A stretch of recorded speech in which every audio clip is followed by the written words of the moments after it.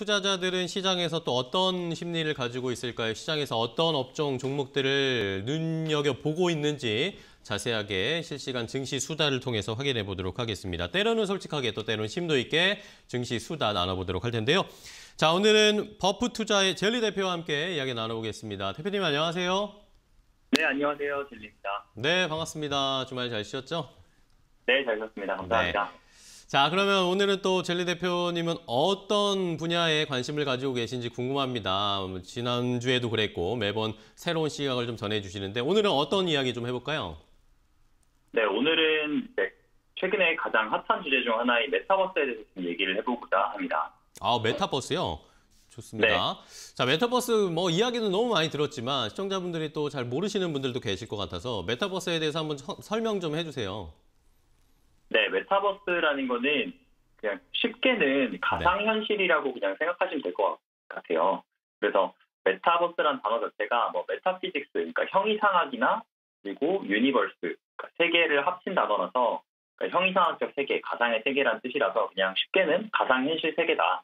인터넷이나 이런 온라인상에만 존재하는 가상현실 세계라고 보시면 될 것 같습니다.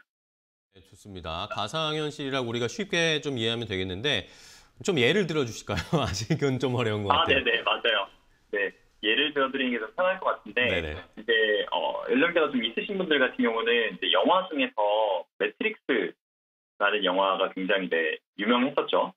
어, 한국에서 굉장히 인기 많았는데, 거기에 나오는 이제 실제 사람들이 본인이 실제 생활하고 있는 세계가 현실이라고 생각하는데 사실은 이제 접속되어 있는 온라인 세계잖아요. 그 세계도 어떻게 보면 되게 정교한 메타버스라고 볼 수 있고요. 그리고 어, 스티븐 스필버그 감독의 레디 플레이어 원이라는 영화가 몇 년 전에 개봉을 했었는데 그 영화 같은 경우에도 이제 사람들이 현실 세계보다는 이제 VR 기기 어, 글라스를 착용을 하고 게임 속에서 사실상 더 많은 시간을 보내는 그런 메타버스가 더 중요해진 시대를 약간 상상하면서 만든 영화예요. 그래서 그런 것들이 좀 대표적인 예라고 보실, 수가 있겠고 그리고 그냥 사실 게임이나 이런 거 좋아하시는 분들은 어, 이제 MMORPG라고 하죠. 그러니까 어, 역할 수행 게임들 그렇게 장기적으로 본인의 아바타를 강화하는 그런 스타일의 게임들 같은 경우에는 대부분 사실 메타버스의 성격을 가지고 있습니다. 그 안에 사람들이 만나고 어, 또 상호작용을 하면서 그 안에서 자체적인 어떤 시장 경제도 이루고 있는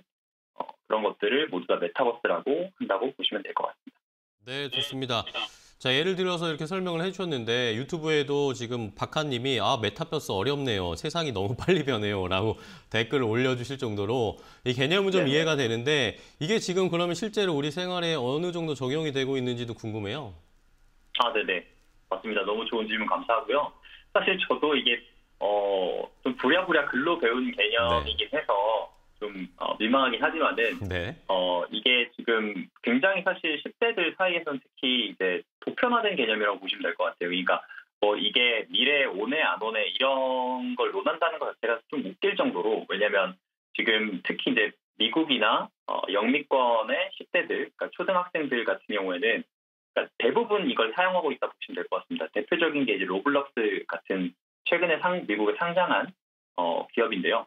그러니까 미국의 12세 이하 초등학생의 4분의 3 정도가 이걸 하고 있고 영국에서는 어, 반 정도가 이걸 하고 있다고요. 그러니까 이 안에서 사실상 뭐 하루에 두세 시간 정도씩 살다시피 하면서 친구들이랑 만나는 것도 거기서 하고 뭐 수업도 거기서 듣고 어, 어떤 사실 되게 유명한 대학교들인데 대학교들 같은 경우는 이제 졸업식이나 입학식 같은 행사를 어, 이제 코로나 때문에 현실에서 하지 못하니 그 가상 현실에서 하게 되는 겁니다. 그러니까 되게 다양한 일들, 그러니까 콘서트, 어, 뭐 방금 말씀드린 졸업식, 입학식 그런 이벤트들 그리고 어, 인- 인천시 같은 경우는 이제 가상의 인천시에서 관광하는 상품을 만들게 되고, 그러니까 여행, 놀이, 뭐 만남 이 모든 것들이 사실 어, 현실에서 일어날 수 있는 되게 다양한 활동들이 다 메타버스 안에서 이미 많이 일어나고 있다. 그리고 이 흐름을 주도하는 것이 흔히 말하는 이제 어, G세대 그러니까 2000년대 이후 출생자들이 많이들 좀 활용을 하고 있어서 그래서 나중에는 이게 그냥 보편화되는 게 너무 자연스러운 흐름일 수도 있겠다라는 생각이 네, 투자자들 지금 마음속에 있는 것 같습니다. 좋습니다. 자, 그러면 메타버스 이렇게 우리가 좀 투자해야 되고 앞으로는 이제 영향이 점점 커질 텐데 사실 우리나라에는 뭐 미국의 이 로블록스처럼 직접적으로 이렇게 어, 어, 메타버스를 운영하는 업체를 찾기가 쉽지가 않잖아요. 상장돼 있는 종목들 중에. 이거 어, 그래서 우리나라에서는 어떤 종목들을 좀 살펴봐야 될까요? 네네. 어, 말씀하신 부분이 정확히 맞고요. 그래서 우리나라에서는 조금 애매하긴 합니다만은 그래도 이제 관련 종목으로 묶이는 종목군이 이미 좀 형성이 되어 있습니다. 그래서 어, 밸류체인이라고 한다면 우선은 이렇게 설명드리는 게 쉬울 것 같아요. 그러니까 어, 하드웨어가 필요한 음, 필요 필요하진 않지만 정확히는 사실 하드웨어가 있으면 좀 더 몰입감 있게 그 세계를 즐길 수 있거든요. 그래서 어, VR, AR은 많이 이제 접해보셨죠. 그래서 그 AR용 글라스라든지 어, 아니면은 VR용 그 head mount 디스플레이라는 어, 그 기기 여기에 만드는 데 들어가는 어, OLED 디스플레이.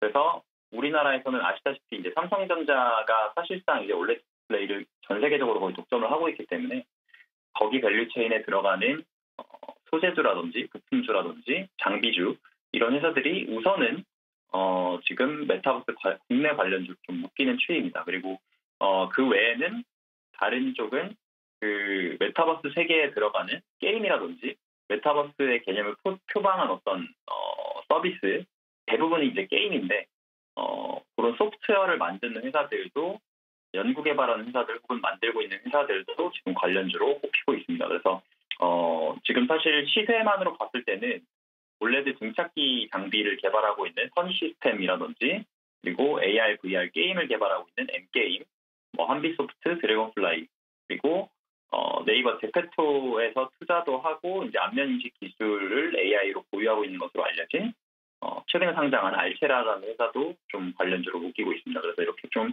어, 이렇게 크게 어떻게 보면 OLED 소재 부품 장비 그리고 어, VR, AR 게임 이렇게 크게 두 개로 보실 수 있을 것 같습니다.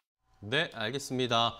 자, 이렇게 메타버스와 관련된 뭐 전체적인 설명도 해주셨고 관련된 종목들 어떤 것들을 봐야 할지도 함께 알려주셨으니까요. 시청자 여러분들 잘 참고해 주시기 바랍니다.